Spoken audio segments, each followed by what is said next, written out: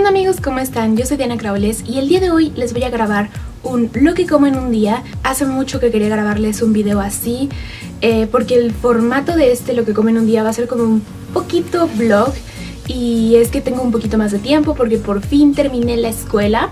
Eh, bueno, no la escuela como tal, sino el trimestre el tercer trimestre de la carrera de nutrición estoy muy muy feliz, de verdad disfruté muchísimo este trimestre, ha sido el trimestre más hermoso que he tenido, sufrí bastante pero wow, aprendí un montón, todavía no tengo las calificaciones completas, pero me fue muy bien. Quizá ustedes piensan que es temprano pero es muy tarde y es que ayer me dormí como a las 3 de la mañana porque me puse a ver una serie, la última temporada de 13 Reasons Why y bueno, me desperté como a las 10 pero les estuve grabando todo el desayuno. Vean, está precioso, ¿a poco no? Me tardé porque aparte de hacerlo y todo eso, y es que esto tiene que enfriar para poder desmoldarlo. Ahorita ustedes van a entender qué onda. Pero bueno, sí, ya no sé de qué les estoy hablando, solo sé que quiero comer esto porque ya es bastante, bastante tarde. Y lo voy a acompañar con mi tacita de kefir. Eh, de agua, ya les había yo hablado del kefir, de las propiedades y esas cosas en, de hecho en el último video de lo que como en un día que fue a principios de la cuarentena y amigos recuerden que yo todavía estoy estudiando nutrición, no soy nutrióloga todavía pero sí les quiero empezar a hacer un poquito más de videos informativos. Entonces vamos a ver esto y si escuchan ruidos otra vez es Leo. Eh, y de ese tema es el que les voy a hablar al ratito. Pero sí, Leo está aquí. Leo, mi sobrino gatito, que es hermoso, lo amo. Pero bueno, ahorita vamos a ver cómo se hace este desayuno delicioso y los veo en un ratito. Vamos a comenzar con el desayuno. Necesitaremos primero un poco de harina de avena, un poco de linaza en polvo, canela en polvo, ralladura de naranja, un poquito de polvo para hornear y agua o leche vegetal. Revolvemos todo súper bien. Las cantidades exactas se las voy a dejar en la cajita de descripción. Y por encima yo le voy a poner el endulzante, así que aquí no voy a endulzar, pero este es opcional. Lo llevamos al micro por dos minutos y después de que esto enfríe, Vamos a decorar como nosotros queramos. Yo en esta ocasión decidí ponerle chispitas de chocolate, tres fresitas y un plátano que amo esa combinación.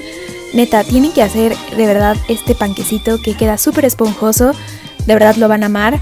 Y bueno, les digo que yo no le puse endulzante como tal a la mezcla porque ya lleva como la fruta y además las chispitas de chocolate son endulzadas, entonces no creo que necesite como más azúcar, pero si tú quieres puedes ponerle cualquier endulzante en la mezcla y va a quedar mucho más dulce. En serio, la esponjosidad está de 10, vean nada más la textura y ya vieron que lo hacemos en menos de 5 minutos. No sé ustedes amigos, pero yo soy súper fan de los desayunos que parecen postres como este y que además son veganos y saludables. Los amo, por cierto, díganme si quieren un video de postres así súper fáciles, que bueno, realmente sean desayunos, entonces sí, díganme, cuéntenme en los comentarios. Amigos, esto de verdad está súper, súper rico. De verdad la textura quedó buenísima.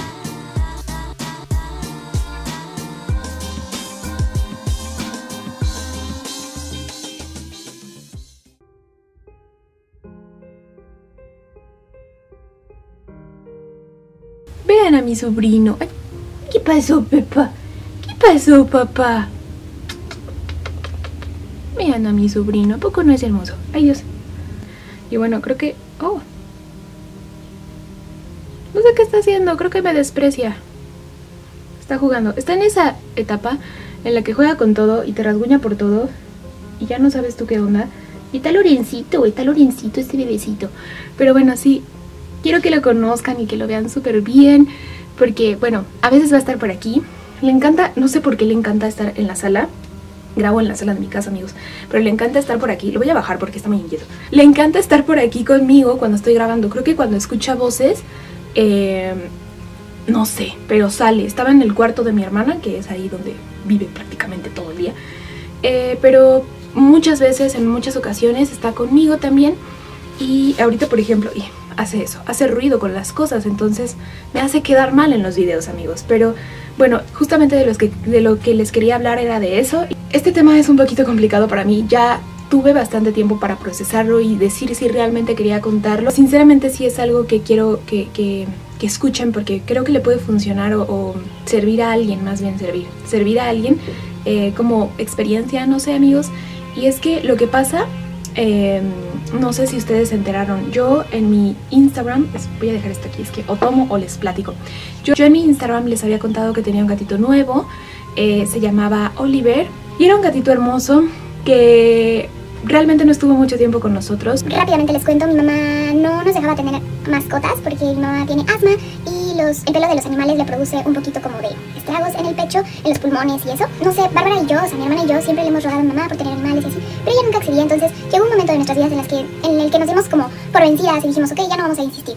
Pero en la oficina de mi mamá eh, se dio la oportunidad de, de, de que hubiera una gatita que tuvo gatos y la gata murió y este, no sabemos exactamente qué fue lo que le pasó, pero dejó a, su, a la camadita muy muy bebés. Entonces mi mamá, eh, junto con nosotras, decidió que buscáramos hogar para los gatos y estábamos buscándoles hogar. Eh, bien cool porque mucha gente accedió y todo eso por Instagram yo les dije y varios me, ayudaron también a difundirlo y todo eso y, sinceramente encontramos hogar para todos los gatitos, pero todavía quedaban dos y era una negrita que era muy muy salvaje y mamá sinceramente no la quería porque literal te acercabas y era pi pi pi, o sea todo el tiempo estaba como así y mamá dijo que esa no la quería y que y que el, el, otro, que es Oliver, que en ese momento no tenía nombre, era muy, muy tranquilo, era muy dócil, muy, muy... Era el más miedoso, era el más... Era raro porque era el más grande de la camada, pero era el más dócil. Entonces, eh, un amigo eh, decidió quedarse con la gatita y nosotros nos íbamos a quedar con Oliver.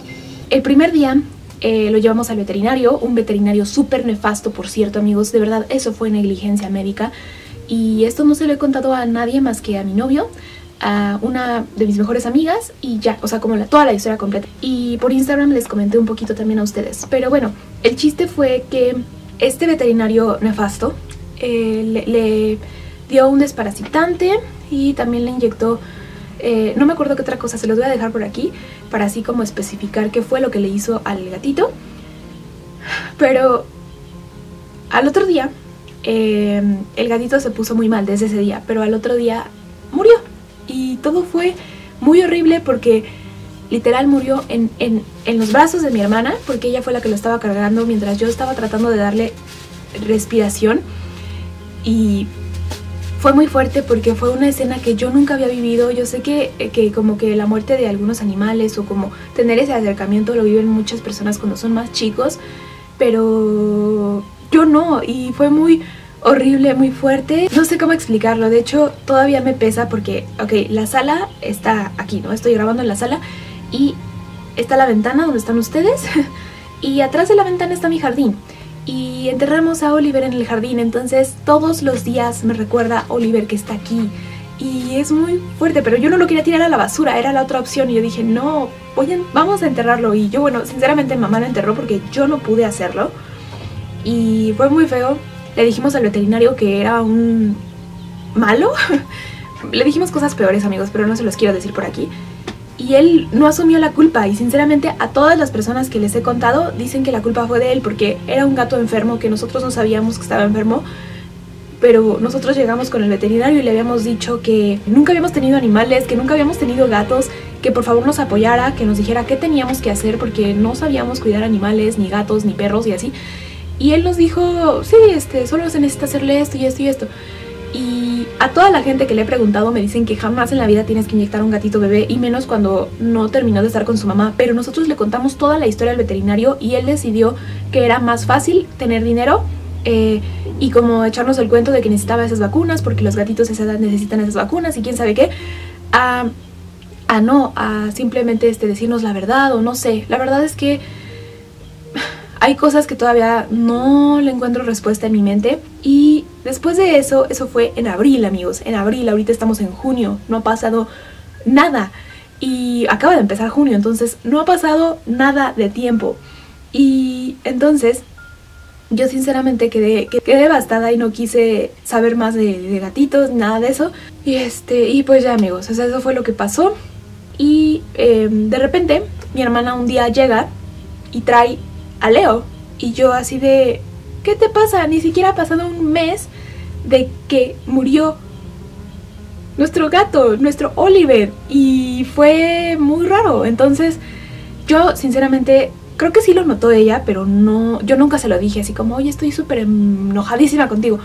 Pero sí me enojé y ahorita lo veo un poco diferente porque creo que cada quien vive su proceso diferente, aunque a mí sinceramente se me sigue haciendo bastante poco tiempo, menos de un mes, eh, superar o bueno, no superar, sino como seguir con la vida así como si nada, sin, sin ese tiempo de luto, no lo sé amigos.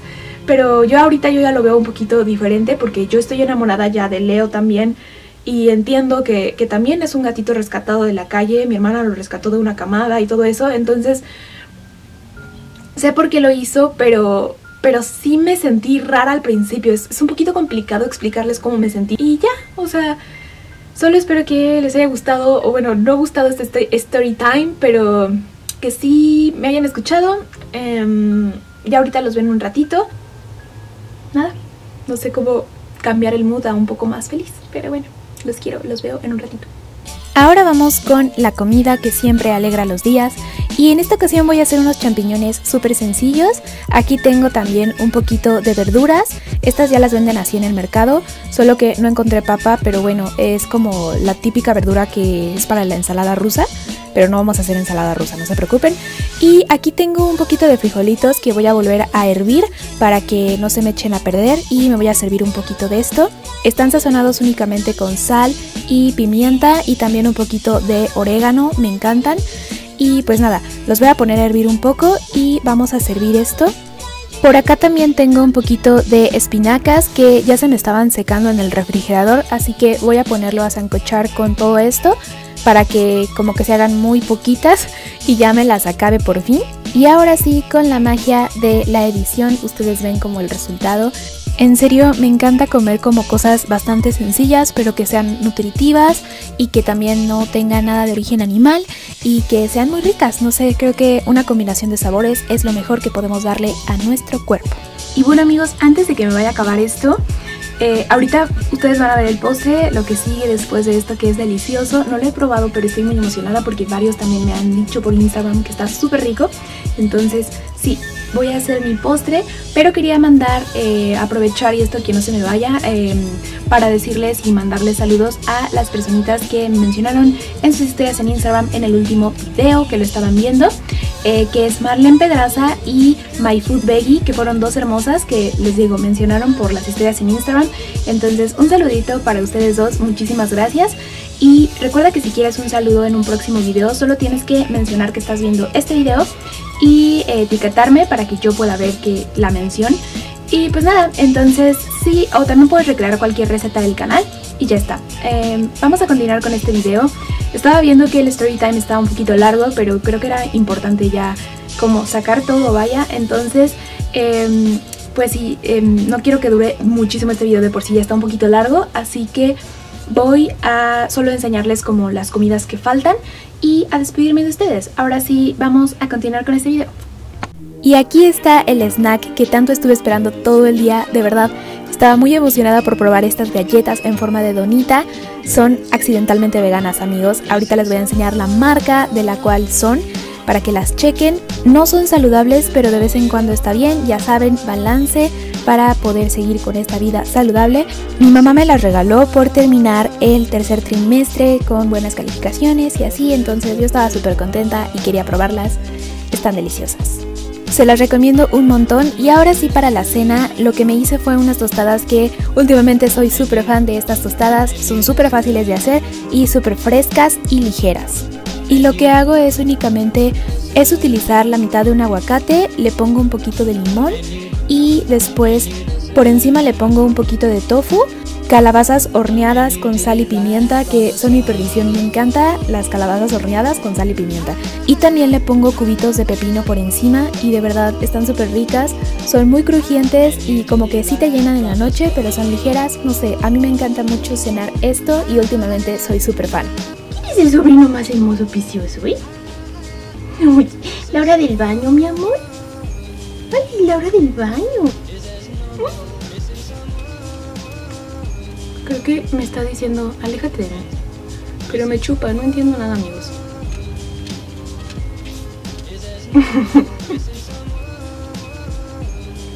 Uy, pilloso. Uy, qué mollo.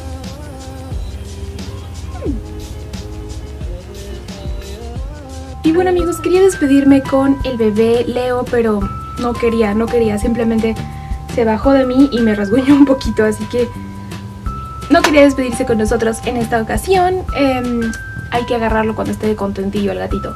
Entonces, bueno amigos, yo me despido, los quiero muchísimo. Espero de verdad les haya gustado muchísimo, muchísimo, muchísimo este video. Díganme si les gustan este tipo de vlogs, eh, bueno, como videos tipo vlogs. Y si les gusta como que les cuente algunos story times y esas cosas.